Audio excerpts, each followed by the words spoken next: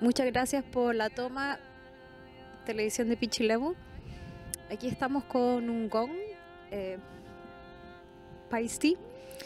y también otros instrumentos que traje eh, de la India y otros instrumentos de, de viento, un poco como simulación de pájaros. Así que en realidad lo más importante yo creo que de este lugar tan hermoso y tan natural es mantener, mantener lo natural y un mensaje para la gente que viene a Pichilemu, que yo sé que ahora está muy popular. Es un lugar que yo vengo desde el año 92, cuando tenía más o menos como 14 años, 13, 14 años. Y me gustaba mucho porque es súper natural. Y espero que se conserve así la gente que venga que lo respete como un lugar natural.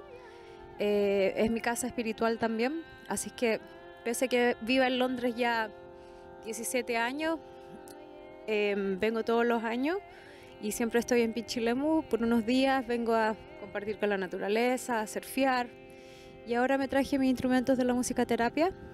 Estudié em, ópera, canto lírico en la Chile y después me fui a los 19 años eh, a Estados Unidos a estudiar ópera también y luego llegué a, a Europa, a Londres, a estudiar ópera también.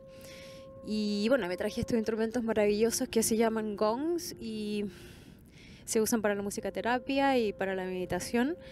Y realmente un regalo, y se lo aconsejo a todos, que todos se compren un, gong porque 20 minutos junto a con esto se puede, se puede, como ustedes ven, colgar en un lugar natural. Digamos, este árbol nos dio hoy día el permiso de, de acompañarnos y, y de ser nuestro nuestro pilar para poder colgar nuestro gong. Y los otros instrumentos que traje son de la India y bueno, leí un poema em, mapuche. Em, puedo quizás dar el nombre a la persona que me, dio este, este, este libro mapuche. Eh, el autor se llama José Curimil, Huenchumil. Y el libro se llama Pentun Ni Folil. Así que es un libro dedicado para las personas que están interesadas en la poesía y en la naturaleza como nosotros.